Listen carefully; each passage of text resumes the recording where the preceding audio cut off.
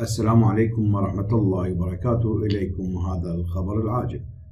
الصدر يطرح عددا من المقترحات تخص سعر صرف الدولار. فيما يخص سعر صرف الدولار نقترح بعض المقترحات من أجل أن لا يستمر ذلك.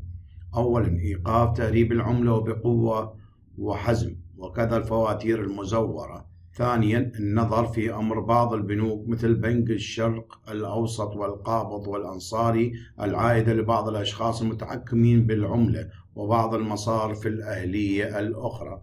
ثالثا استدعاء مدير البنك المركزي تحت قبة البرلمان فورا. رابعا استدعاء وزير المالية تحت قبة البرلمان فورا. خامسا تنظيم سوق العملة العراقية بصورة مركزية وبأسلوب صحيح. وبسن بعض القوانين التي تزيد من قيمة سعر صرف الدينار العراقي.